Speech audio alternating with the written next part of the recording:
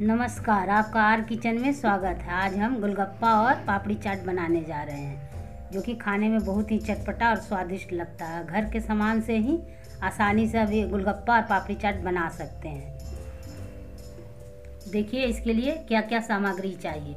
चार चम्मच धनिया खड़ा, दो चम्मच जीरा, पंद्रह से बीस सूखी लाल मिर्च और एक नींबू आकार का इमली लेना है।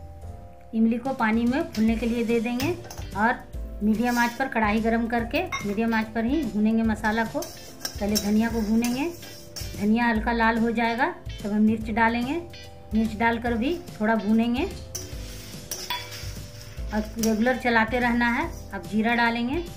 जीरा डालकर भुनना है, जब मसाला अच्छा से भुना जाए, तब इसको कोई बर्तन में निकाल लेना है, कढ़ाई में नहीं छोड़ना है, नहीं तो मसाला और जल जाएगा। देखिए मसाला भूनकर तैयार हो गया है। अब इसे कोई बर्तन में निकाल लेंगे। कढ़ाई में नहीं छोड़ना है, नहीं तो मसाला और जल जाएगा, क्योंकि कढ़ाई गर्म है। देखिए, मसाला भुनकर तैयार हो गया है। अब इसे मिक्सर में पीसेंगे। देखिए, इसे पीस लिए हैं। ज़्यादा महीन नहीं पीसना है, ना ज़्यादा मोटा। इस तरह का होना चाहिए मसाला। अब इमली का मीठा चटनी बनाएँगे। आधा से कम इमली का पानी ले लेना है, जो भिगोए हैं सो। एकदम आसान तरीका है बनाने का इमली का मीठा चटनी। इसमें सिर्फ़ चीनी डालना है। दो से तीन चम्मच चीनी डालिए। आप अपना हिसाब से मीठा डालिए। अब इसे उबाल लेना है। मुश्किल से दो या तीन मिनट उबालना है। ये उबल कर मीठा चटनी बनकर तैयार हो जाएगा। यह पापड़ी चाट के लिए बहुत ही ज़रूरी है। देखिए, इमली का चटनी बनकर तैयार हो गया है। ये ठंडा हो जाएगा तो और भी गाढ़ा हो जाएगा। गोलगप्पा का मसाला बनाने के लिए डेढ़ कटोरी सफ़ेद मटर और एक कटोरी लाल चना दोनों को भिगो लेना है और तीन आलू लेना है। क्वान्टिटी आप अपने हिसाब से मटर, चना, आलू का ले सकते हैं। अब सभी को उबाल लेंगे मीडियम आँच पर, मुलायम होने तक। इसमें आधा चम्मच नमक डालेंगे और थोड़ा सा हल्दी डालेंगे। नमक थोड़ा सा ही डालेंगे क्योंकि नमक ज़्यादा नहीं, फिर बाद में नमक डालना है। इसे मुलायम होने तक दो सीटी उबाल लेना है। देखिए वो उबल कर तैयार हो गया है। इसको अब सभी मसाला, सूखा मसाला प्याज वाज मिलाकर इसका मसाला बनाएँगे। गोलगप्पा और पापड़ी चाट के लिए क्या क्या चाहिए? देखिए, काला नमक स्वाद अनुसार दो तीन चम्मच इमली का पानी, एक चम्मच चाट मसाला, दो चम्मच हमने जो भुना मसाला बनाया वो, और एक चौथाई नींबू। तीन चार हरी मिर्च बारीक कटा हुआ, एक इंच अदरक का टुकड़ा बारीक कटा हुआ, हरा धनिया थोड़ा सा बारीक कटा हुआ, और एक बड़ा प्याज बारीक कटा हुआ लेना है। देखिए, अब हम मसाला बनाएँगे। आलू, मटर, चना सभी को एक बर्तन में, बड़ा बर्तन में ले लिए हैं। अब इसमें स्वाद अनुसार काला नमक डालेंगे। हमने उबालते समय भी नमक डाला है इसीलिए नमक हम हिसाब से डालेंगे। हमने भुना मसाला जो बनाया था, छोटा चम्मच से दो चम्मच डालेंगे।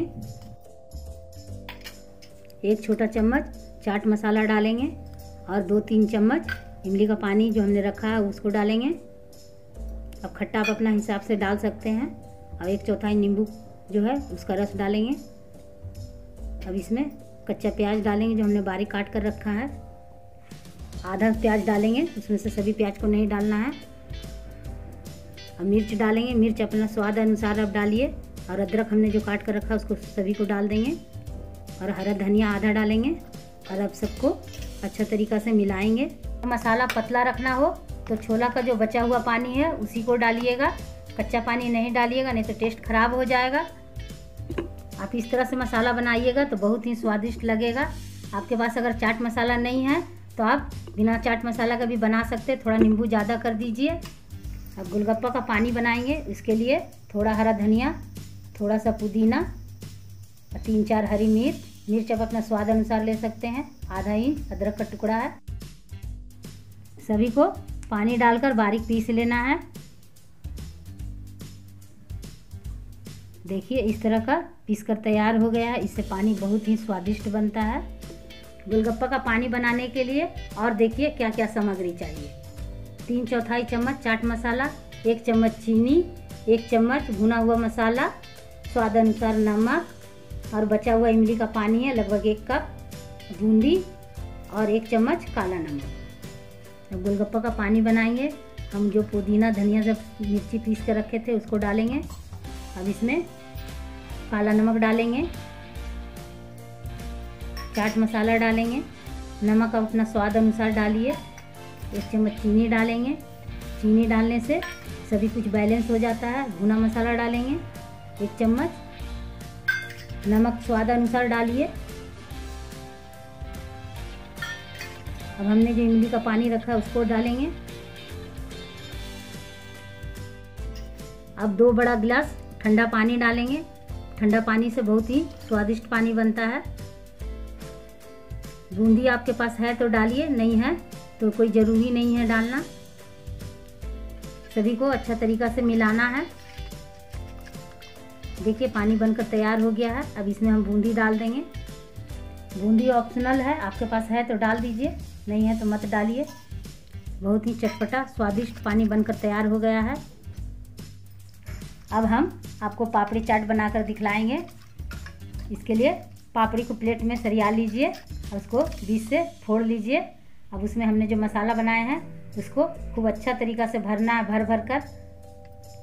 जितना अच्छा से भर कर बनाइएगा, उतना स्वादिष्ट पापड़ी चाट बनकर तैयार होगा।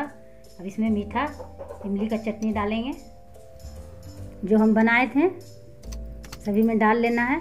अब इसमें कच्चा प्याज डालेंगे, बारीक कटा वाला। सभी में प्याज डालकर इसमें चाट मसाला डालेंगे थोड़ा थोड़ा फिर भुना मसाला डालेंगे सभी में। मसाला को आप अपने हिसाब से डाल सकते हैं, ज़्यादा कम। काला नमक डालेंगे सभी में। इसमें हरी मिर्च डालेंगे। मिर्च आप अपने स्वाद के अनुसार डालिए। अगर पसंद है तो डालिए, नहीं पसंद है तो मत डालिए। इसमें दही डालेंगे।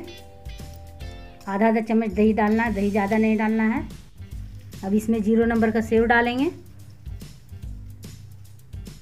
सेव डालकर हरा धनिया डालना है। देखिए, यह पापड़ी चाट हमारा बनकर तैयार हो गया है। खाने में बहुत ही चटपटा और स्वादिष्ट है। अब हम आपको गोलगप्पा बनाकर दिखला रहे हैं। गोलगप्पा का पूरी का रेसिपी मेरे चैनल पर डाला हुआ है। यह बहुत ही चटपटा और स्वादिष्ट है। एक बार ज़रूर बनाकर खाइए और कमेंट कर कर लिखिए। पापड़ी चाट में जो हमने मसाला भरे हैं, वही मसाला है। देखिए, अब गोलगप्पा बनकर तैयार है। मुँह में पानी लाने वाला मज़ेदार चटपटा गोलगप्पा बनकर और पापड़ी चाट बनकर तैयार है। आप एक बार बनाकर, खाकर कमेंट बॉक्स में लिखिए। अगर आपको यह वीडियो पसंद आया हो तो लाइक कीजिए, शेयर कीजिए, मेरे चैनल को सब्सक्राइब कीजिए। Thank you.